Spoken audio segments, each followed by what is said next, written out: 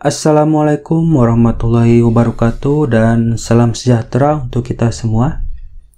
Baiklah, pada kesempatan ini kita akan sama-sama belajar untuk menghitung daya dukung aksial, tekan, dan tarik, dan juga daya dukung lateral pada pondasi tiang panjang. Baiklah, kita buka dulu filenya. Di sini saya pakai Excel untuk menghitungnya. Oke, di sini sudah saya siapkan. Ini ada sheet lateral, kemudian sheet aksial. Nah, ini adalah file properties yang nanti harus kita input diameter tiang panjangnya. Ini tipe driven file atau tiang panjang. Ini shape itu terbulat bulat. Dan diameter luar, diameter dalam, dan di sini ada gambar uh, tiang beserta lapisan tanah dan kedalaman juga ada beban P aksial dan P horizontal atau lateral. Kemudian ada friction skin atau skin friction pada setiap kedalaman. Kemudian ada end bearing atau daya dukung ujung tiang.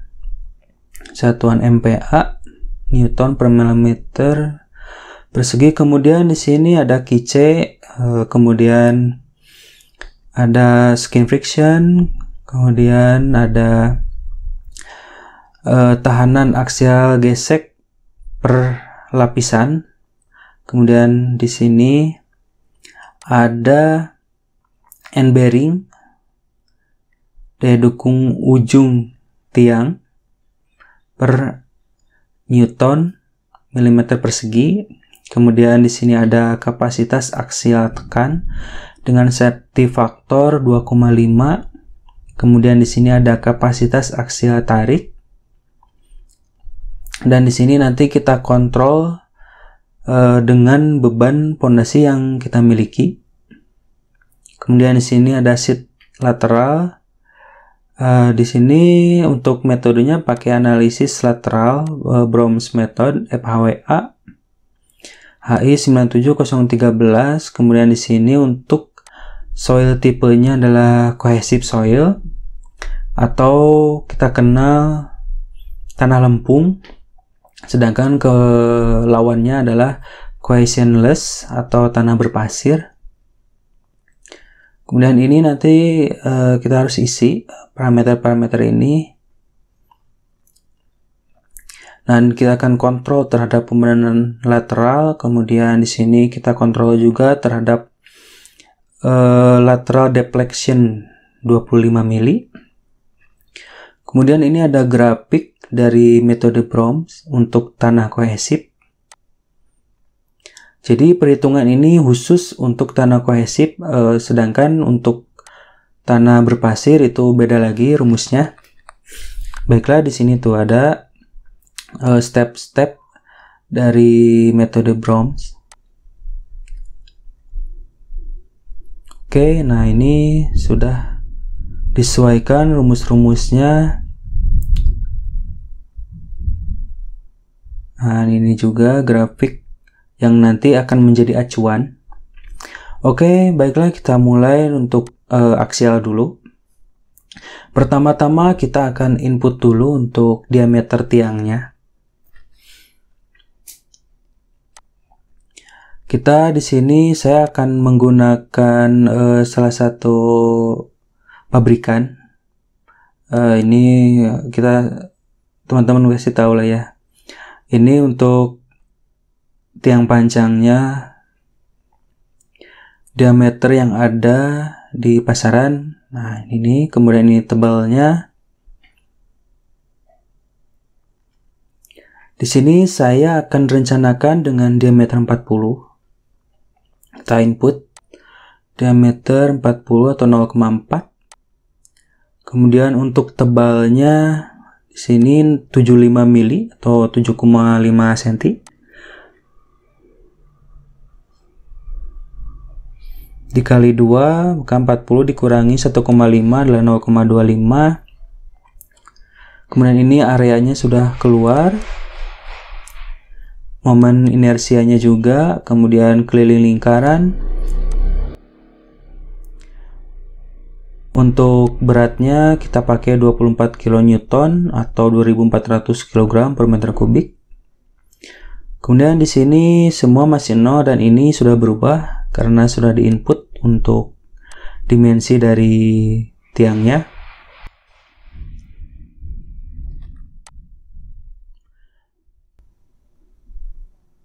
Selanjutnya kita akan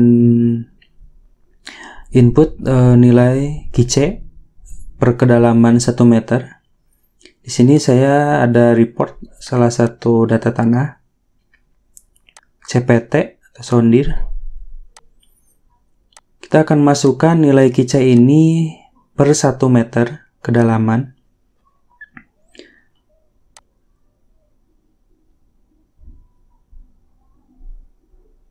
Untuk uh, mempermudah kita print screen aja karena ini filenya file PDF.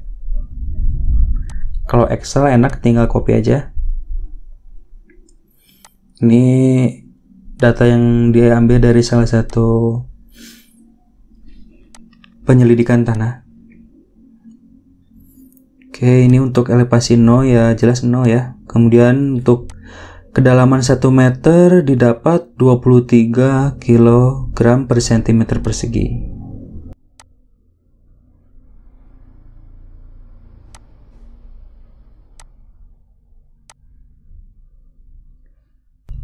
Kemudian lanjut elevasi 3 meter, kedalaman 4 meter,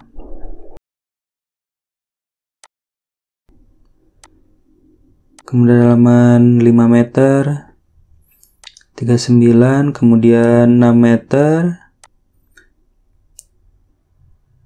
30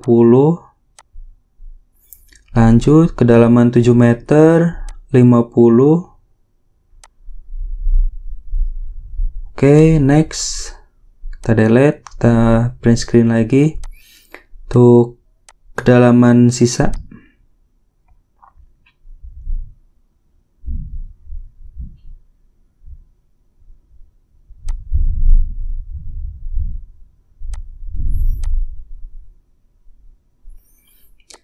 kedalaman 8 meter 90 9 meter 160 dan terakhir kedalaman 10 itu 220 kg per cm persegi. Sudah tinggi ya pada kedalaman ini 10 meter.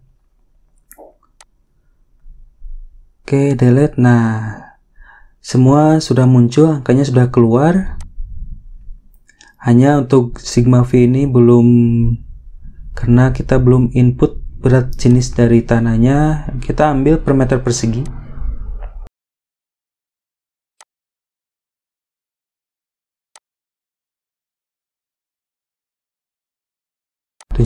nah ini sudah berubah.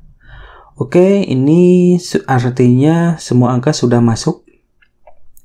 Dan kita pun sudah memperoleh dia dukung aksial dari tiang panjang, aksial tarik dan tekan.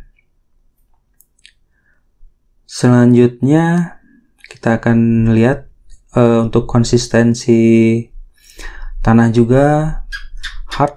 Nah, ini sudah berada pada kedalaman 7 meter sudah diperoleh. Jadi kita akan coba pada kedalaman ini ya untuk uh, desain pondasinya. Jadi ujung dari tiangnya pada kedalaman 7 meter. Dan uh, kita harus ini ya untuk safety factor. Jadi ketika kita merencanakan pada kedalaman 7 meter, maka kita harus tahu data tanah minimal 3 meter ke bawah. Seperti ini 7 meter.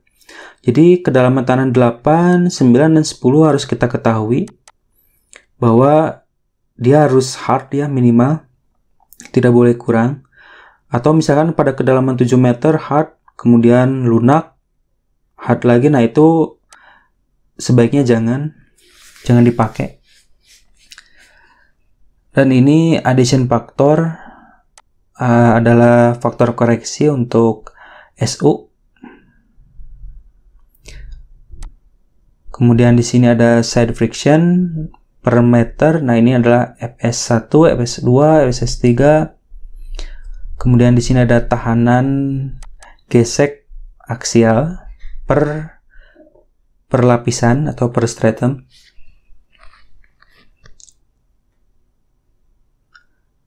Dan ini sudah uh, ngeling ya.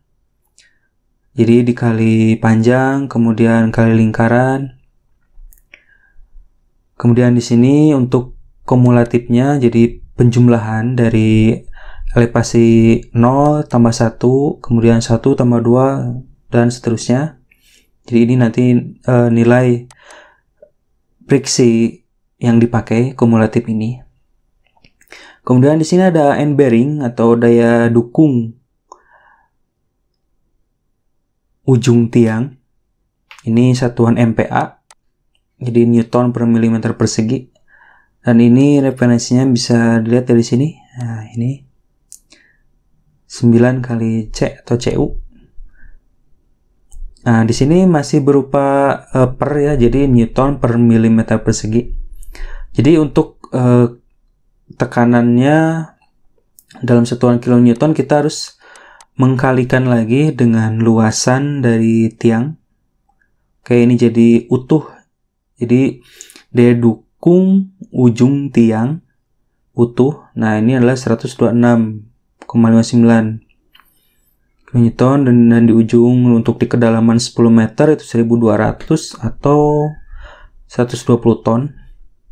Wow, cukup kuat ya. Kemudian tapi itu masih belum satu faktor. Dan ini adalah ultimate. Di ultimate ini penjumlahan dari friksi atau gesekan uh, pada samping permukaan tiang kemudian ditambahkan nah ini samping permukaan tiang ditambahkan dengan ujung atau permukaan ujung atau end bearing nah, itu dijumlahkan menjadi Q ultimate maka key ultimate ini belum bisa kita pakai, kita harus membaginya lagi dengan safety factor 2,5. Dan ini adalah daya dukung izin aksial tekan yang akan kita pakai untuk mendesain fondasi. Uh, baiklah, kemudian di sini lanjut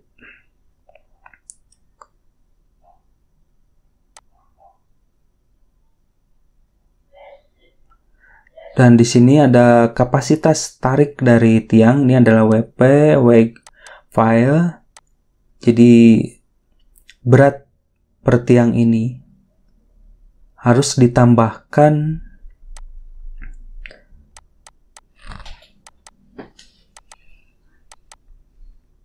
Nah, berat yang ini harus tambahkan dengan kumulatif dari skin friction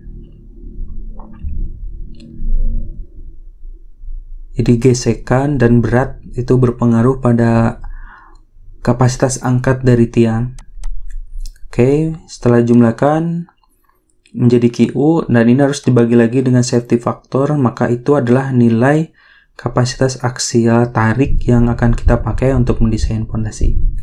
Oke, di sini saya sudah linkkan ya. Jadi untuk uh, eh, 7 meter ini kita dapat QO tekan 375 kemudian KO tariknya 276 oke di sini saya inputkan yang merah tulisan merah ini 900 misalkan beban tekan dari pondasi rencana dan ini beban tarik dari pondasi rencana. Kemudian kita bagi uh, untuk tekan saja dulu 900 nah ini dibagi dengan KO maka kita dapat dua buah tiang 2,39 maka kita harus membulatkan ke atas dapat 3 otomatis beban ini dibagi dengan jumlah maka didapat 300 kN tekanan yang didapatkan oleh satu buah tiang. Dan ini harus dibandingkan dengan QO nilainya harus lebih kecil maka hasilnya aman. Kemudian untuk tarik juga sama oke hasilnya aman. Oke, okay, uh, eh, untuk aksial kita sudah selesai.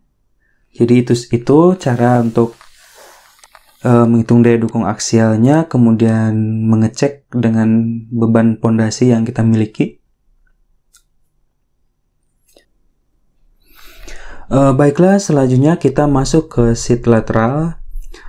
Untuk lateral ini sebetulnya kita membutuhkan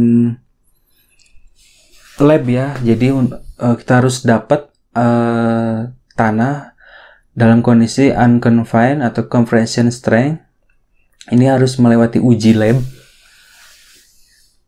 Uh, di sini saya contohkan saja ya, kita anggap sudah melewati mendapatkan data dari lab dan pada lapisan pertama kita dapat nilai dari tanah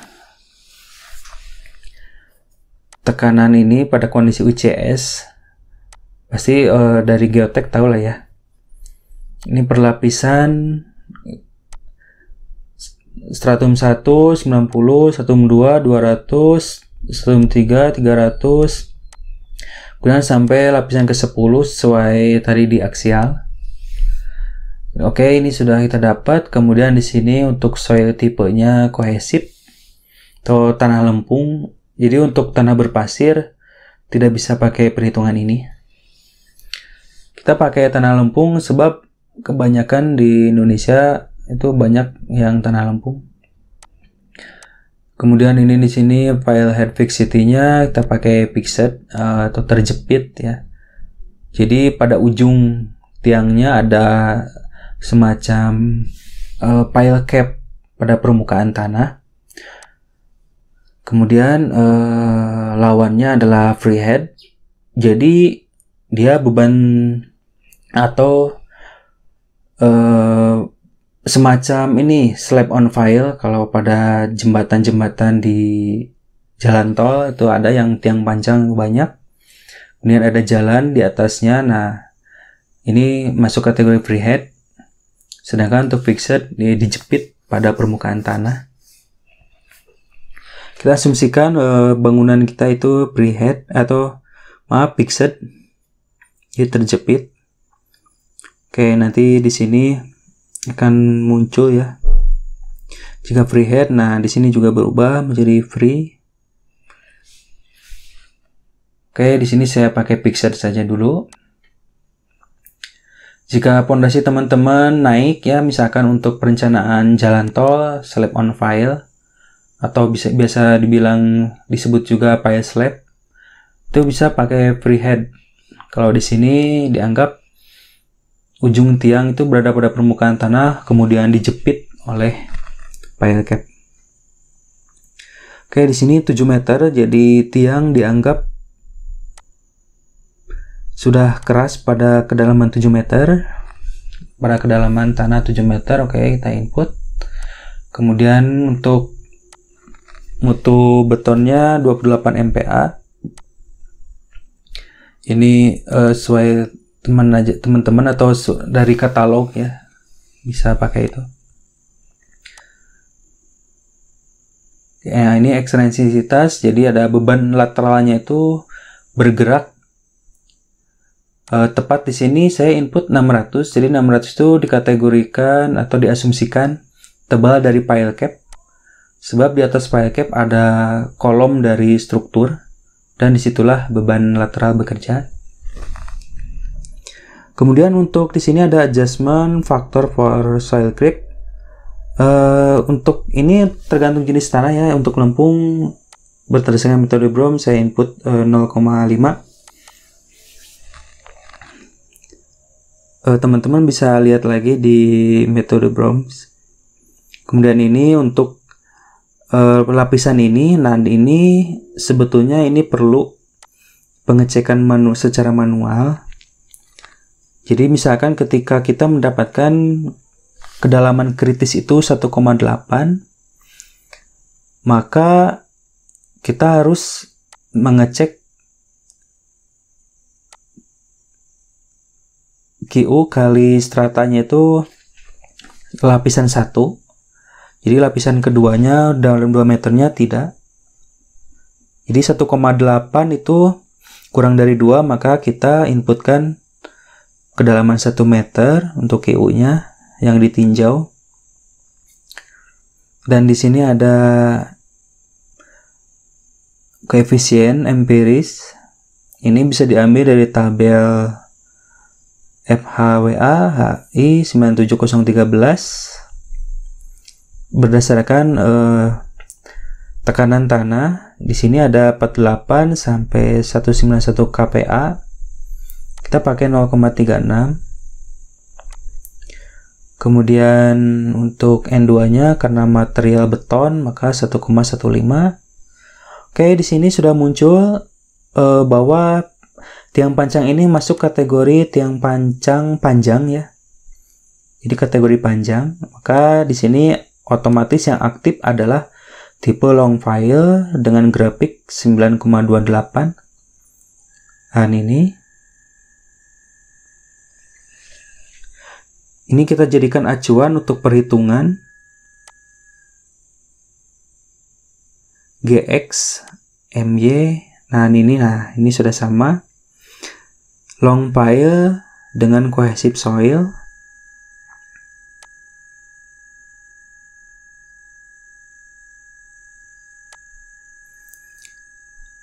Nah, nanti kita tarik ya sesuai dengan angka yang kita dapatkan pada GX.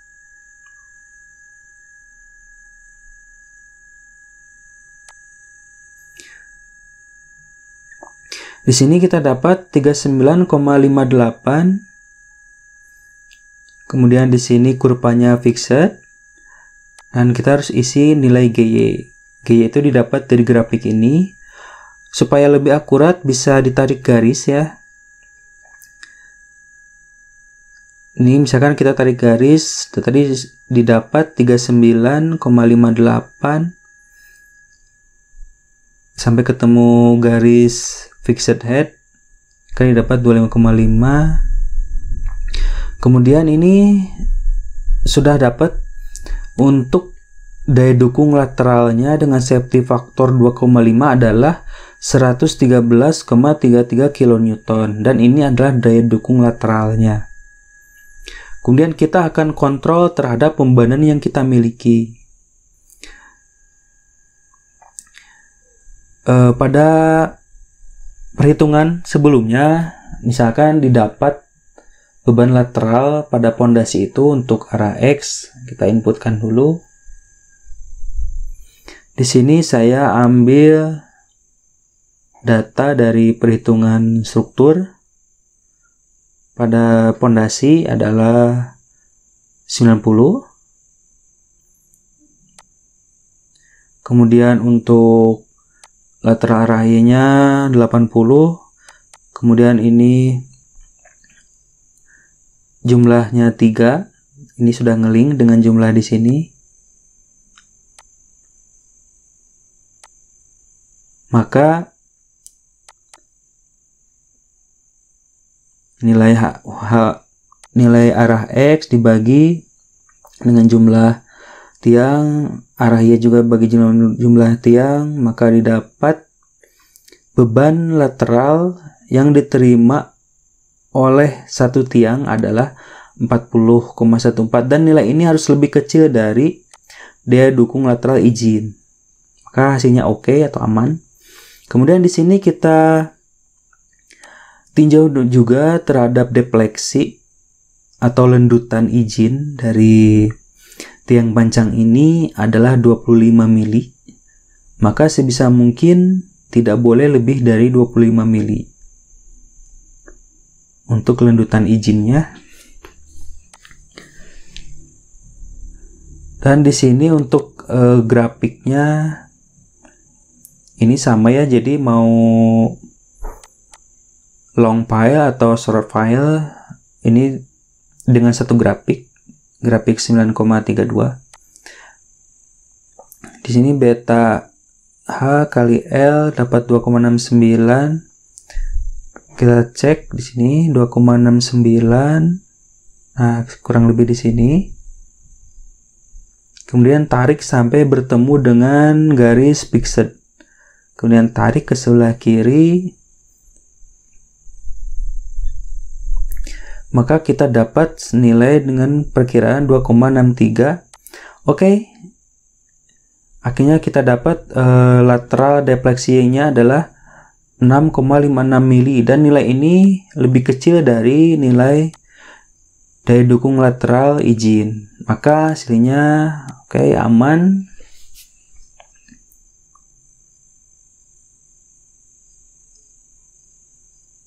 Oke, okay, semua sudah kita cek ya. Ini semua nilainya sudah ngeling. Oke, ini untuk aksial. Jadi dengan tiga buah tiang sudah aman pada kedalaman 7 meter aksial tekan, aksial tarik. Kemudian untuk lateralnya dari defleksi juga sudah aman. Dari dukung lateral sudah aman.